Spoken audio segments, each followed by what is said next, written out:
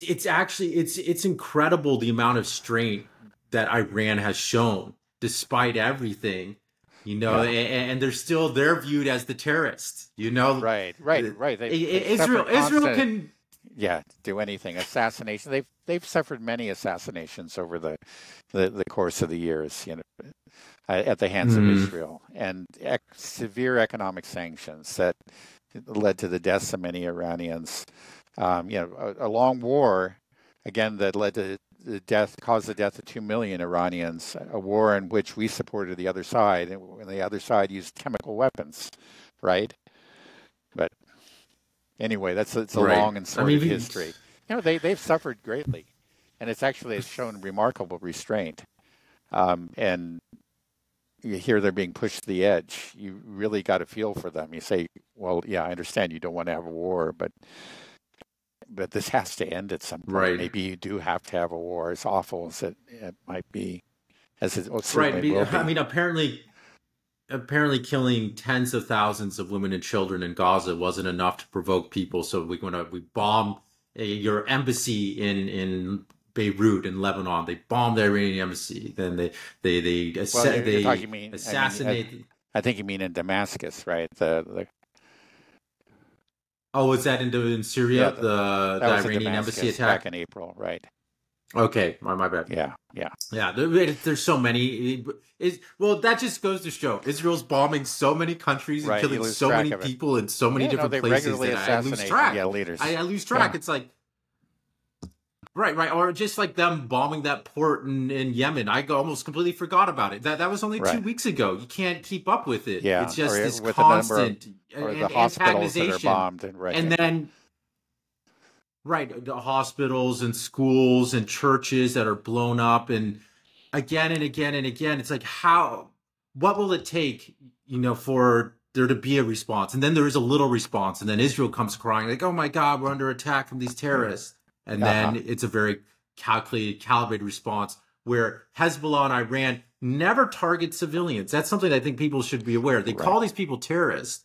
I, do, do you know how many rarely, civilians right. in Israel have been killed from from Iranian or Israeli activity, or, or right. Iranian or Hezbollah Lebanese well, activity? Iranian, I think. Do you know probably, in the since October seventh? Okay, well, Iranian, I would say zero. I think for Hezbollah, zero, right? Zero from right, Iran. Right, Hezbollah, a total of seven and there's you know, there's been a lot of I think that's clearly unintentional. They've been striking military bases, but inevitably there, there are civil, civilian casualties in a war, even when you're targeting military assets, right?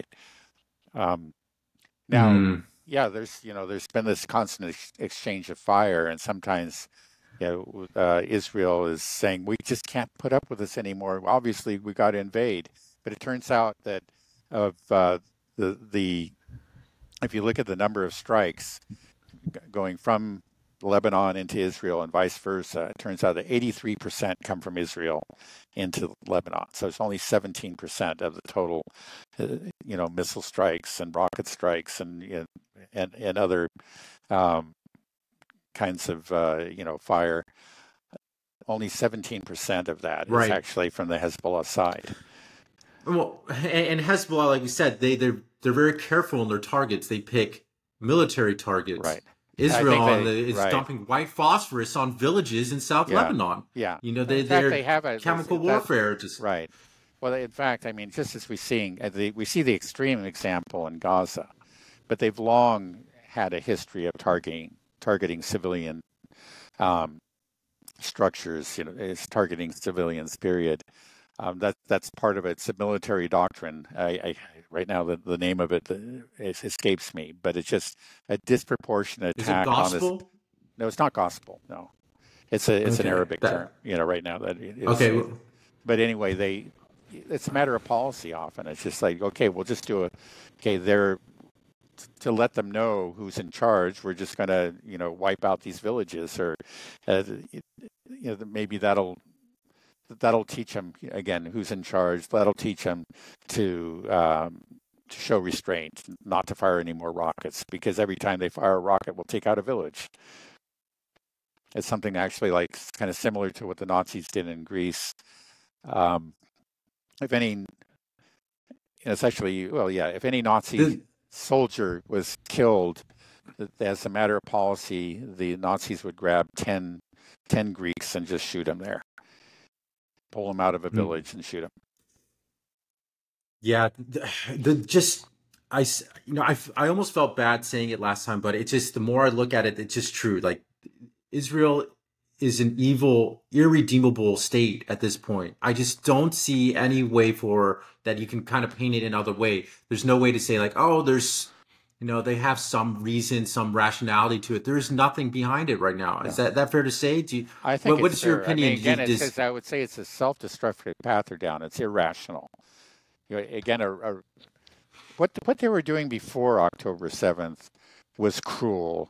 You know it was it, you could even describe it as monstrous but it was rational. It was careful right? It was incremental and they were winning. It was working. It was like the world had forgotten about the Palestinian problem, and they were slowly chipping away at, at, at the West Bank, you know, seizing another couple of acres every, month, or driving off, uh, you know, more people from the land that they they wanted, um, and that could have gone on for a long, long time, and nobody would have said anything. Occasionally, there'll be the the wringing of hands, but but by and large, it was forgotten. It's, it was was not eh, part of any, you know, of the. Um, it wasn't. Uh, it wasn't attracting anybody's attention. It wasn't part of the the you know the news stories that we see every night. Um, it was out of the news. It was out of people's consciousness, and they could have just continued that way. That would have been rational. It would have been very cruel, but it would it was rational what they were doing. Um, now, what they're doing now is not irrational, it's self destructive. The world is turning against them. They're becoming an international pariah. And and they what? and they don't really they've gone so far that there's it's very hard to turn back. It's really hard for them to turn around or you know make a U-turn at this point. To, they've gone so far down this road that it's really looks like there's really no going back. Um, and we, have talked about this early, like earlier. You take commit half a genocide. That's it's at that point you stop what you're doing. It's just like you've got all this blood on your hands. You and it, the world sees it. It's the, the, I think the only way is just and and it becomes an admission too of what they've done. You know they. Um, you know, people tell them stop, stop, stop. You finally stop, but you've you know you've killed half the people in the room. Uh, their only hope is really actually to go through out the other side to to to ignite a regional war and to win it. And you win it, you know, again, well, you're the victor. Victors get to to write the history. You know, that that's maybe the only hope that they have. Do you think that they that people in Israeli actually think they could win this? Are they that well, delusional? Well, uh, they know they can't win it on their own. That's why they want to bring in the U.S. I think Netanyahu, Netanyahu on that level, he's pretty, you know, he's very crafty. He knows that he can't do it. But he just do they think that they can win with the U.S. I yeah, I believe they like can. This, well, I, I think, think, they may have miscalculated that... it, but it may have been just like Zelensky's miscalculation when Boris Johnson approached and said, "Yeah, pull out, tear up this." Um, this Istanbul agreement, you know, we've got your back. We'll supply you with every weapon that you need. You'll beat the Russians. And he heard it. He believed he did it right. And it's a little somewhat of a different situation for Netanyahu, but he's thinking the same thing. He said, "Look, okay, yeah, we're just a little country, but we got we've got the um, the United States right behind. They're committed. They'll do anything we want them to do, and we'll I'll pull them yeah, into but... this, and then and it'll be the U.S. versus Iran. And come on, Iran is just a its its economy is what like uh, three percent of the U.S. and whatever. Um, I think that's the way like like say he may have miscalculated. I think he has, and I think actually the U.S. defense establishment understands this um, pretty well, which is why they've been trying not to get involved. Is that they know that Iran can do a lot of damage to them. You know, especially they've got a lot of these bases that are very vulnerable to Iranian missiles. And Iran, you know, demonstrate that they can hit those bases with great precision. They did that after the, the assassination of Soleimani. But mm-hmm. but right. I think again, these politicians uh, sometimes uh, they don't really, you know, they, they it's it's often the the politicians, it's the civilian leaders that are can be the greatest warmongers of all. They just don't seem to really. They don't know the nuts and bolts of of uh, you know actual military conflict. I just think it's like you know we're the we're obviously like the most awesome force on earth, and that's all I need to know. And I said, let's go take these people out. And in Netanyahu's case as well, you know, there's it's well, we're okay. We we've got the U.S. and that they're the preeminent military power, and and so what's to worry? We'll we'll win. Well, I, I feel like the Ukraine Russia war changed everything, though and most of the world has woken up to it, but uh, the United States is slow to admit it, and maybe right. and NATO, well, Western Europe is. Of, but yeah, right. You get, you know, of course, um, a lot of us are seeing that, that that these Western military systems aren't really what they were cracked up to be. They've actually one after another has been neutralized by by the Russians, and but and I'm sure against the, the like the defense experts, the real military um, tech guys, they understand this. Uh, but a lot of these civilian leaders really live in a different universe, and the the, the counter propaganda is pretty powerful. You step out of that, you know, you get into the, the Western bubble, and it's it's only about Western strength, and there's just very you have to really make an effort to find any admission of weakness. Now it's coming out even in mainstream papers or in you know mainstream media outlets. But if you're not a very careful consumer of the news, if you're not really digging for the truth, and you're just kind of comfortable in that bubble, you still have this sense of supremacy. It's still there, and you'd be surprised how many of these leaders you would think they would know better, but sometimes they they're you know again maybe like we were saying earlier, victims of their own propaganda. Yeah, but uh, maybe, but it's you just take a, don't even have to go into the weeds with the Ukraine Russia war. Just take a look like, okay, is Ukraine winning? How are they doing? How is it right. working out with the US backing you and we got your back? What you don't have to yeah, go no, into the, the, the nitty gritty of the logistics right. of the munitions. Like right. what we can only produce 550 Patriot missiles a year, and yeah, well, you have to shoot a lot of that, for every a lot of that missile. does not make it into the mainstream. If you just watch CNN or whatever, you you probably would never know that. Right, you but really you, if you're if you're Netanyahu, you're talking to the, the your military leaders at like this. You hope so. He's got to realize right. to some extent, yeah. right? But yeah. Um, well, well, but like the, we said, I, mean, I guess Netanyahu. Yeah, but the fact is, he just thinks he that clearly wants war, and that means that he does mm-hmm. believe he can win it. If he thought he was going to be defeated, he wouldn't do it. But he believes he's going to win it. He's just, he, I, I think you know, maybe he's probably hearing some things from his uh, IDF guys and maybe from some Pentagon officials, and he brushes it off. All oh, these guys, they're always just so damn cautious. You know, they just don't want to muddy their their shiny new equipment. You know, uh, let's just do it. I, I'm sick of hearing all these, you know, the naysayers. Okay, if if this breaks into a wider regional war, which seems to be heading that way, at high probability at this point, um, what how does that look? Can you play that out at all? What does that mean for the world? uh, my, I don't know. It's just like when a war begins, it's just like that's the the only thing that's certain is that it's it's going to be it's going to take you places you never imagined. I mean, really, it's true of every every major conflict. It, the parties went into it expecting a certain outcome, and the, it was, and quite often, you know, just think of the major conflicts of our time: World War One, World War Two, the Civil War, whatever it was. Um, like people went off to the front. Be over a matter of days. Be, yeah, like a couple of weeks, a month, or whatever, and then four years later, many tens of millions of, of people dead. Yeah, much of Europe in smoking ruins. Who knows? We hope that that's not what's going to happen. I mean, you have to say, like with the Ukraine war, it was that um, Putin had a plan for a very quick war that would be resolved quickly by, you know, uh, a treaty, and he almost got it. I don't think he was, it's clear that he wasn't planning on the war that he has.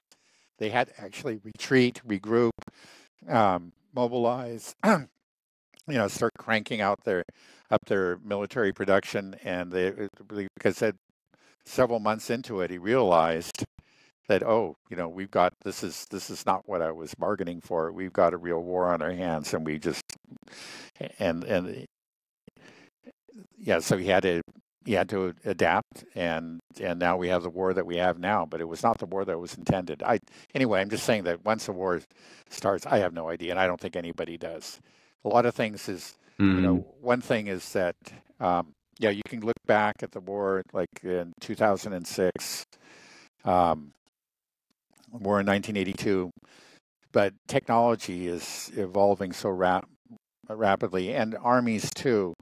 Um, you know, an army that fought well 20 years ago, you kind of used to assume that it's the same army now, but it's a new generation, and they may just may not have the same uh, fighting spirit, or you know, or maybe uh, training is in that country or in that particular military as has is not up to the standards that it used to be. Who knows? You often don't find out these things until the war begins. Even the, you know, the nobody war is the great tester. You know, it puts everything to the test, right? And we'll we'll find out what these armies are made of. I think we've already seen quite a little, you know. Uh, have a good idea of what the IDF is made of, and it hasn't been very impressive so far. But it, but again, they haven't really been put to the test because they have been fighting a war against civilians. And it's just a ragtag guerrilla army with very few weapons, to be honest. And and that hasn't been very. And they're still losing. But now they're going to be going up against Hezbollah. Now Hezbollah has a fearsome reputation, and I I think it's it's um, you know it's that that reputation is based on reality. But we'll find out. You know, we'll find out if we have a real war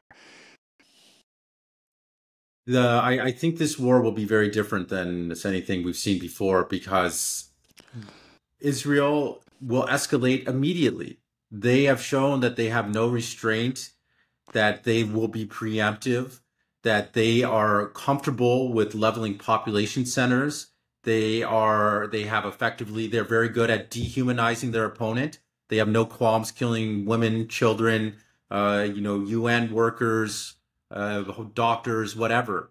You know, they they may go they may go nuclear sooner rather than later because they feel like we got to win quick.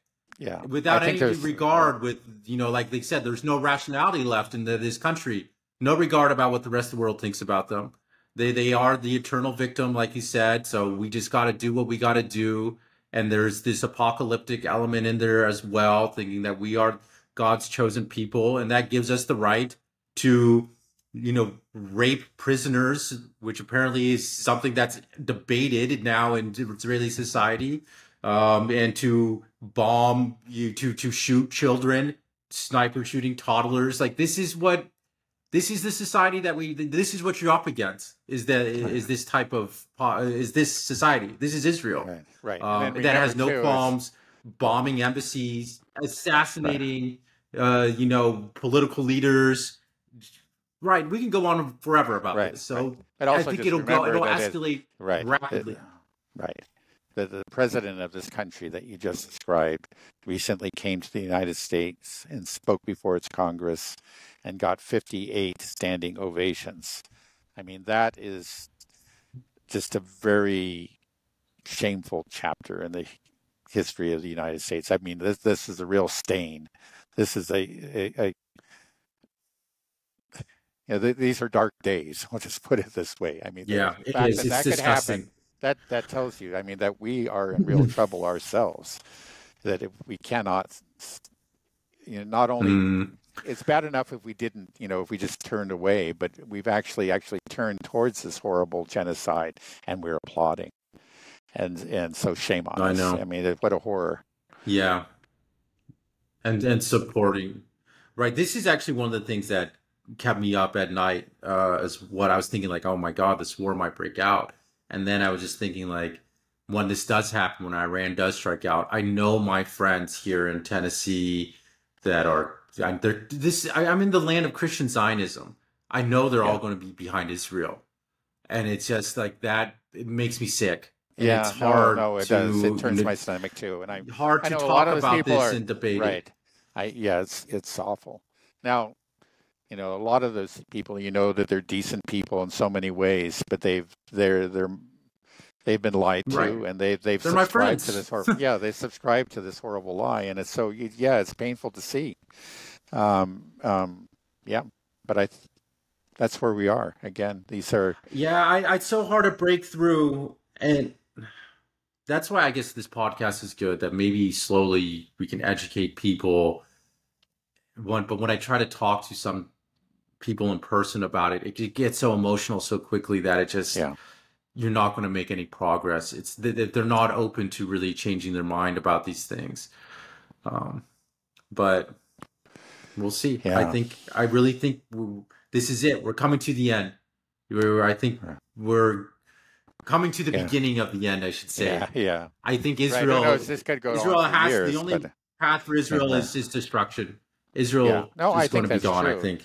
Right. I don't know if this will be, maybe we'll see some kind of replay of what we saw in April, but it just seems to me that the um, the stars are aligned. I, you know, it's not just that eh, okay, once again Israel has has deliberately uh, provoked Iran, has actually driven them into into a corner where they're forced to fight. Right.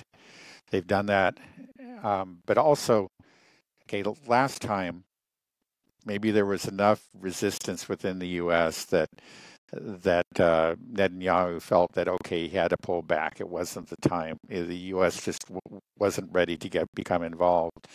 But now with the um, with Biden's condition, his withdrawal from the race, you know, um, Trump's. Uh, I don't know if it's a likely victory, but I think probably our odds are in favor of him it it just changes everything. I think that Netanyahu is looking at this and saying, "This is my time," and you know that, and there's just no way that there there really isn't anything there in the U.S. that can stop me from from pulling this off. I think he's probably going to go for Right. it, and that he probably will. If there's a good chance, I can't say you know it's certain, but there's a very good chance he will pull it off, and he will draw the U.S. into this conflict this time. Right. I mean, that address to the U.S. Congress was basically his confirmation. I feel like getting those Yeah, I 58 think it was standing he was laying the groundwork And- for what he intended to do. Yeah, Right, and, and re- realizing as well that hey, there's nobody in charge in the United States. There's a bit of a power vacuum because Biden is, you know, no longer there mentally. He's dropped out of the race. Who who's who's who's in charge? He's like, I'm in charge. Netanyahu's in charge now. He came to our Congress and showed us that he's the one that's running, calling the shots now, Right. and it's gross. It's disgusting. And we, everybody, they all stood up and clapped for this genocidal maniac that's going to drag us into war and probably cause untold destruction and death across the world, across the Middle East. Who knows how far this thing could go? You know, we, there could be tens of millions dead later, and we were applauding this Yeah, we guy that's going to yeah, start we this don't. We have no idea, but It's it, crazy. But it is. Yeah, it's um, right. It's a very I'll say very. I'll end on one thing. One one positive note. I think that maybe the one thing that could make this this war shorter is that the United States is so weak militarily that it won't be able to sustain a long war. That we'll just try to turn on the engine and it'll sputter. We'll send out a few sparks the first couple months and be like, "Oops, we ran out of everything. We don't have anything Right, to our, our combat this." stockpiles are depleted. Yeah, there was recently a study that came out about what might happen if there was a conflict over Taiwan, and basically, what the U.S. would run out of the missiles that they needed within a couple of weeks.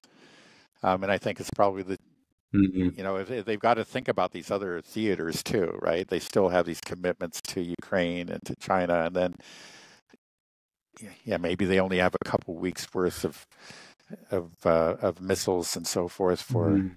for the Middle East. Yeah, the the hubris of the United States. That's another thing that I always get re- comments on. People are like, "Oh man, the U.S. is just going to kick everyone's butt. We're so much better than everybody," and they they just they're so naive. They have no idea the current state of our military. And you, you, the same. I mean, our president, you know, Biden was the same thing when he was on that interview talking about like, can the U.S. fight, multi, you know, these multiple, Multiple wars, wars, yeah. all these fronts? It's like, right? He's like, come on, man, we're the USA. We can do. Right. What kind of response is that? Yeah. What kind of response? It- You Right. should be a, a a reasonable person be like, well, we want peace, right? We'll, Right. We're going to work. We could. Our military is is should be uh, an instrument of peace. You know, we we we are we, we don't want to engage in all these wars. We want to engage diplomacy and end these uh, with as little bloodshed as possible. Instead of this bravado, uh, uh, Right. that, that it's it's like acting like my it's like my, my two year old son coming and saying he wants to fight. That's how he is acting. Like ah, and he thinks he can. That's that's what it is. It's Yeah. it's crazy, and we're gonna find Yeah. out that that we, Yeah, well, there's no- we yeah, aren't no- we aren't the top right. dog. Right. No awareness of limits. There, there, there are limits, very real limits to our power, and you know we may experience them very soon. Mm. Okay, Dad. Well, I'll let you Okay. go because I know you just you just arrived in Moscow. You got uh, you got the the women in your our family waiting on you. So, um, but we can maybe do another podcast over the weekend if there's some if things pop off. Um, Yeah. And yeah, also I did want to talk to you about Maduro and Venezuela a bit. We can maybe do that some other time. Sure. Although that might be on the back burner with what's happening now. yeah. We'll see could what just- happens. Right. we might see the whole world yeah burst into flames okay um okay well i'll let you go have a great time uh enjoy All your right. dinner enjoy moscow and yeah you're in russia we should talk about ukraine russia at some Yeah. point in time so Okay. we'll do that too All right. We'll talk to you later. okay Bye-bye. dad all right bye-bye